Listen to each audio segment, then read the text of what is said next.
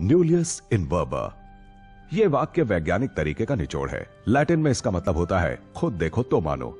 दूसरे शब्दों में, सवाल उठाते रहो। रॉबर्ट हुक का कोई पोर्ट्रेट मौजूद नहीं। क्यों?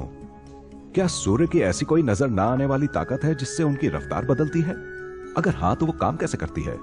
क्या इसे समझाने के लिए गणित का कोई आसान सा नियम भी होगा?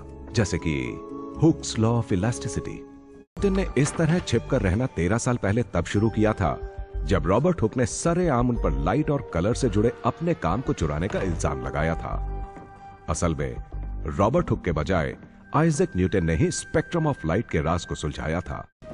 सब मेरे ख्याल से आपको याद नहीं होगा लेकिन कुछ साल पहले हम मिल चुके हैं। जी हाँ मिस्टर हैली। माफ़ कीजिएगा मैंने तकलीफ़ दी। फॉर्मेलिटीज छोड़िए कहिए कैसे आना हुआ? मैंने हमारे कुछ दोस्तों से बात की थी मिस्टर रेन और मिस्टर हुक से।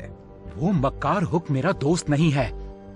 जी मैं समझता हूँ न्यूटन को अच्छे से याद था। पिछली बार जब उन्होंने अपनी बात रखी थी तो हुक ने उनके साथ क्या किया था? आइजैक मिस्टर हुक चाहते हैं कि आप अपने तीसरे वॉल्यूम के प्रीफेस में उनको भी धन्यवाद दें। वो तो मैंने दिया है। उनको मिस्टर रेन और आपको धन्यवाद दिया है जिनकी वजह से मैंने दोबारा एस्ट्रोनॉमी के बारे में सोचा।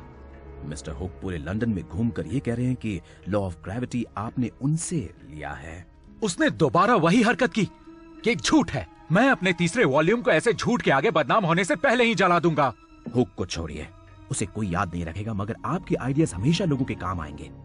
कहा ना वो लॉ मेरा है। पहले मैंने उसे साबित किया था। तो फिर तुरंत सबूत दिखाओ।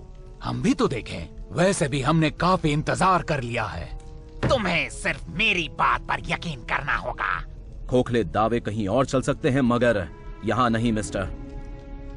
सबूत दिखाइए या चुप रहिए। मिस्टर हुक हम्म, उस न्यूटन को तो मैं देख लूँगा।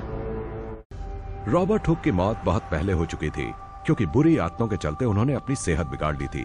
वो रोज़ाना वर्मवुड अफीम और मरकरी का नशा करते थे। कुछ महीनों बाद न्यूटन को उनकी जगह रॉयल सोसाइटी का प्रेसिडेंट चुना गया। कहते हैं इन्हीं दीवारों पर कभी हुक का पोर्ट्रेट भी टंगा होता था। कुछ लोगों को लगता है कि ऐसी ही किसी रात को आइजक न्यूटन ने आखिरकार रॉबर्ट हुक से अपना बदला चुका दिया।